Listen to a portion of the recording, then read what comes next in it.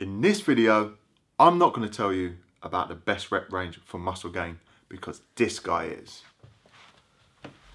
This is Mr. Chad Dolan or Myo Dolan. Myo is uh, not given by birth, it's not his birth certificate, but Chad is head researcher of SBS. He's doing his PhD. He knows more than me. Over to you, Chad. Thanks, Luke. So, as Luke alluded to, we're talking about rep ranges. And with rep ranges, we know we're going to be doing resistance training, as that's the most effective modality of exercise that we can do to increase muscle size and strength. A few reasons why resistance training grants those adaptations.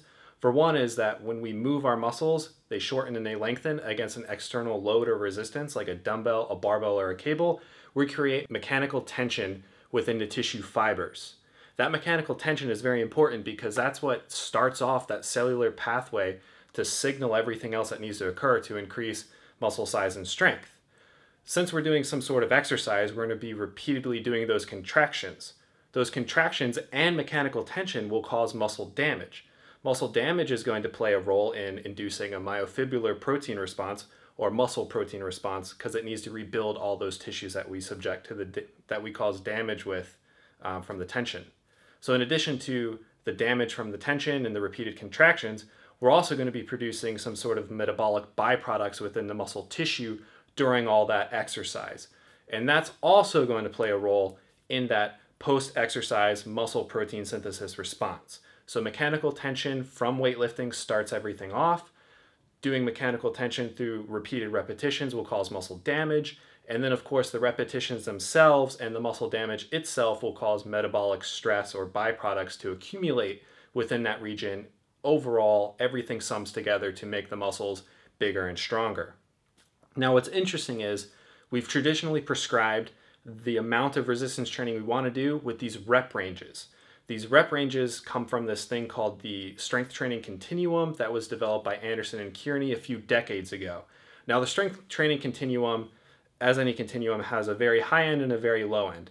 At the high end, we have lots of repetitions for low weights or resistances.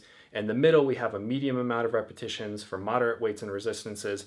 And at the low end, we have less repetitions for higher weights or resistances. With training specificity, we can stipulate or we can assume that lots of reps for low weights is going to increase our muscle endurance. At the other end, a little bit of reps for very high weights will increase our muscular strength. And then in the middle, it's been reported to work on hypertrophy or kind of a middle ground of that adaptation. Now, traditionally, you might hear someone say do 8 to 12 repetitions to increase your hypertrophy, while you want to do less than 6 repetitions at very high weights to increase your muscle strength. Now, someone had to have asked the question because my lab asked the same question is is 10 8 or 12 repetitions inherently better for muscle size, whereas 5, 4, 3, 2, and 1 are those inherently better for muscle strength, or is there something that we're missing here?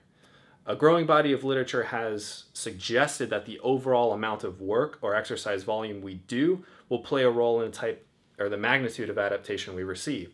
So, what my lab did was we took the exact same amount of work and total pounds moved and we split it up into days with 12 repetitions, days with 10 repetitions, or days with 8 repetitions in a daily undulating periodization design and had one group only do hypertrophy training, right? And then we split that same amount of work up into six reps, four reps, or two reps in another daily undulating periodization design and had that other group only do strength training. What we found was that after eight weeks, there was less than a few kilos lifted difference between each group or each person in each group, and that the resistance training adaptations were effectively the same. So we had the same amount of hypertrophy in the chest and thighs, whether subjects or participants only lifted with 12, 10, or 8 reps compared to 6, 4, or 2, 2 reps after 8 weeks of training.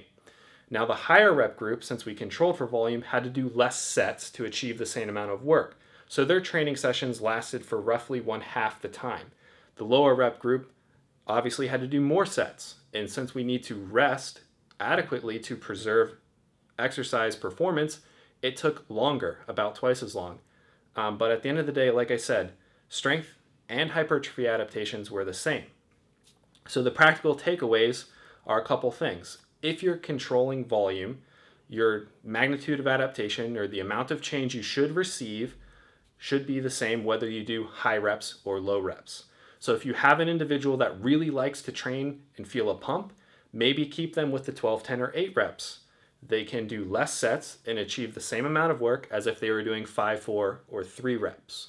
Okay, but again, they will like it, so they will probably perform it more often or with more effort, and that's going to lead to more consistent results or gains.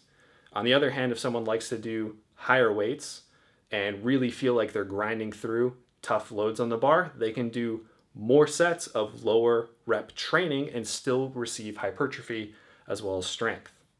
Okay, and finally, like I said, consistency is king and specificity is a governing principle of exercise design because it really dictates the type of adaptations we receive.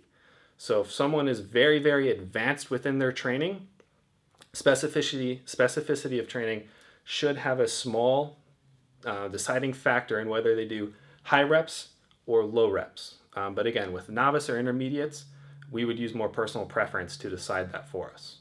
Damn, Chad. Was that better? That's the one. Okay, cool. I told you he's smart. Chad, thanks a lot for that. Um, where can I follow you on social? Um, well, you can find me with Myodolan on Twitter, and then we'll just link up the Snapchats and the Facebooks and everything else below. Perfect. Cheers, Chad. Make sure if you like the video, you click like and you subscribe to the channel. We want to help the community grow. So you play a crucial role on that. Let us know in the comment section as well. What's your preferred rep range? Chad, what's yours? Well, as a former powerlifter and former bodybuilder, really just former weightlifter in general, I like all of them, but five is my favorite. Five. Mine's eight to twelve. Was a bro from the start and sticking with the typical eight to twelve rep range. Know your roots. Exactly.